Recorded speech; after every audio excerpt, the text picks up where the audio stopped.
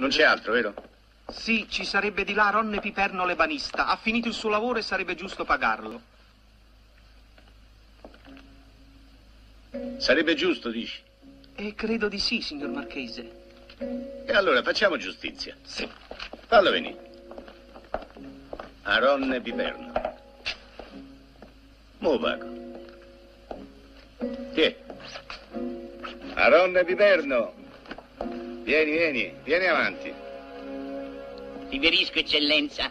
Aronne, tu lavori bene. Grazie. Bella boasseria, bella armadio, belle cassapanche, bello, bello, bello tutto. Bravo. Grazie. Adesso ne puoi andare. Non ho capito, eccellenza. Ah, ne hai capito? No. Ho detto adesso te ne puoi andare. Eh, Me ne devo andare, ma io ci avrei Che ci avresti? il conticino. Ah, c'hai il conticino? E dammelo sto conticino. Ecco. Eh? Ecco il conticino. Ecco fatto. E perché l'ha strappato? Beh, che ci faccio? Ma come che ci faccio? E i soldi miei? E non ti do. Come non mi dà? E come?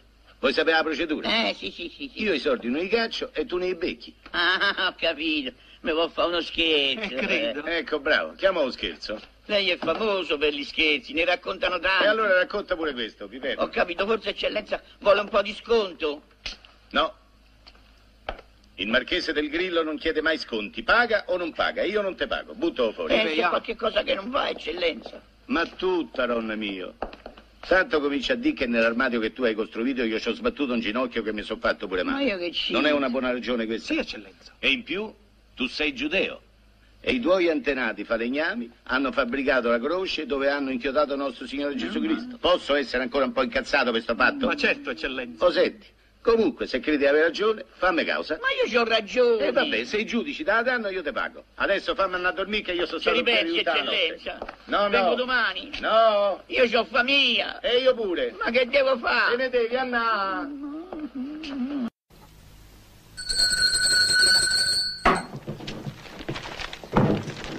Cristi nomine invocato pro tribunali sedentes, anche nostram me definitivam sententiam emanamus. AD, 18 febbraio 1809.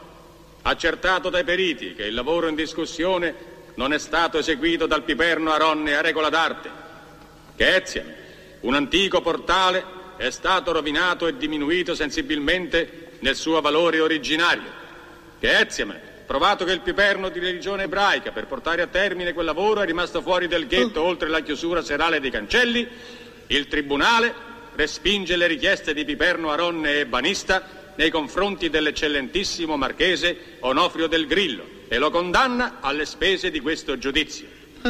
E per lite temeraria e reato contro le disposizioni del coprifuoco, ad essere Eziam esposto alla pubblica gogna. Pure. In nomine Patris et Filii et Spiritus Sancti. Amen. Mi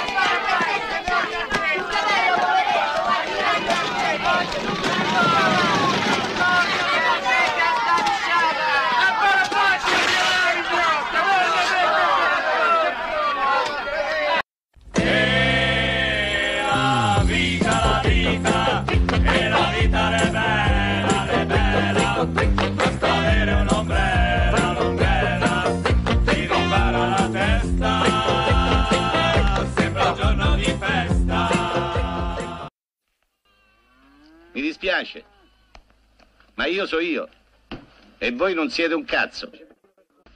Santità, io avevo fatto un torto a un povero falegname giudio, ma sono riuscito corrompendo giudici, testimoni, uditori, guardie, avvocati, cardinali, abbati, funzionari, periti, amministratori a far condannare quel poveraccio solo perché lui, povero giudio, e io, ricco e cristiano. Comunque, Santità, io mi inchino alla vostra volontà e sono disposto ad andare di buon grado in galera, purché in compagnia dei monsignori Ralla, Panti e Bellarmino, dei cardinali Fioravanti e Bucci, degli uditori di prima istanza Ardenghi, principe di Colle Terzo, Soffici, duca di Sezze, del conte Unterpon Kuiper, comandante della Guardia Svizzera, E dell'abate di Santa Maria la Minerva, Don E Ferruccio. basta, oh! Eh, a voglia, troppi ce ne so. Tu mi stai decimando tutto il Sacro Collegio e buona parte della Guardia Nobile. Ricordati, figliolo, che la giustizia non è di questo mondo, ma dell'altro. Eh, lo so, Santità, giustizia dell'altro mondo. Proprio così, figliolo. E poiché noi purtroppo siamo di questo mondo, ti condanniamo ugualmente a 30 giorni di fortezza.